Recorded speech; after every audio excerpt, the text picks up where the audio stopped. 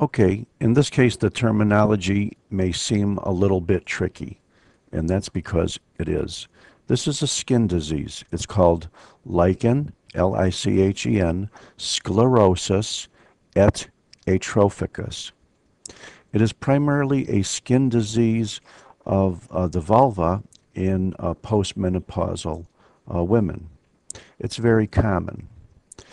The reason why it's called lichen sclerosus et atrophicus is because if you look into the dermis, it's practically all replaced by dense collagenous scar tissue. That's the sclerotic part. And it's also the easy part. Please notice there's some stippling of chronic inflammatory cells here too. And there are still some remnants of uh, hair follicles, as you could see.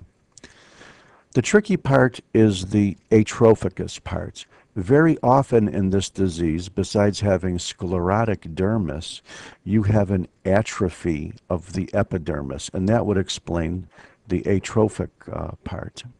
However, uh, forms of lichen sclerosus and atrophicus wind up having hyperplastic or hyperkeratotic uh, epidermis, like you see here.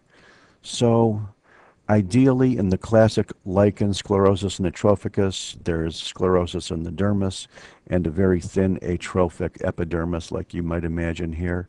But in all honesty, you could see parts of this epidermis are hyperkeratotic or rather than atrophic, uh, perhaps hyperplastic.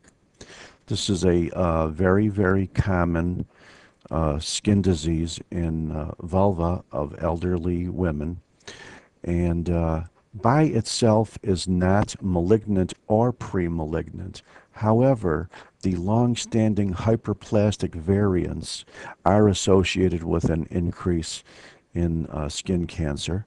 And thank you very much.